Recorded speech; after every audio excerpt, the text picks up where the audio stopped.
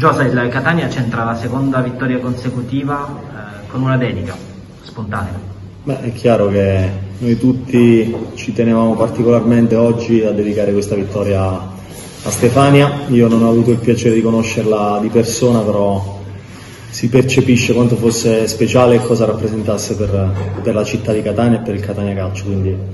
la dedica principalmente va a lei.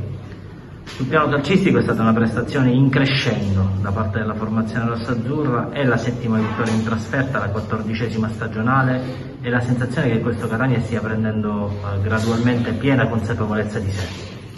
No, sapevamo di affrontare una partita complicata, la Cavese al di là del, della posizione di classifica per me ha dei valori superiori e, e, probabilmente oggi giocava tanto tanto in ottica salvezza, però siamo stati bravi e soprattutto pazienti nell'aspettare l'episodio che poi indirizzasse la partita, fortunatamente da lì in poi l'abbiamo gestita secondo me con, con grande calma, con grande qualità anche di gioco, quindi siamo contenti, dobbiamo continuare così perché la strada è quella, quella giusta. Quanta astuzia da difensore che sa dove va a spiovere la palla, c'è nel gol da centravanti vero che hai realizzato. No, è stato, è stato sicuramente un bel gol, però eh, molto, molto, merito va a Jacopo dall'olio che ha messo veramente un cioccolatino, poi io stavolta sono riuscito a metterla dentro e, e, sono contento anche perché, soprattutto perché è stato il gol che poi ha sbloccato una partita, ripeto, complicata e poi ha indirizzato, ha indirizzato la partita e siamo, siamo tutti contenti. Il Catania è una squadra in fiducia adesso? Ma sicuramente siamo in fiducia e siamo consapevoli di essere una squadra forte, purtroppo abbiamo attraversato un periodo negativo. E e questo probabilmente ha tolto un po' di certezze, un po' di consapevolezza, però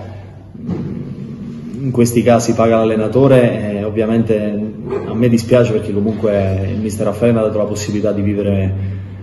un'esperienza qui a Catania e, e, gliene sarò per sempre grato. Detto questo adesso siamo convinti che, no, di esserci rimessi in carreggiata, dobbiamo semplicemente continuare a, a fare quello che stiamo facendo con grande convinzione, con grande umiltà, però con tantissima fame, che poi è la cosa che fa la differenza. Quando si vince non ci si fa mai troppo caso, però un clean sheet è sempre una bella soddisfazione per la difesa e per la squadra. No, no, è molto importante. È campionati, tutti i campionati, ma in generale anche la Serie C, sappiamo che avere una solidità difensiva è, è basilare per una squadra che ambisce poi a, a un percorso importante come, come la nostra, quindi dobbiamo insistere, dobbiamo continuare a lavorare con, con il sorriso, con spensieratezza, ma consapevoli comunque che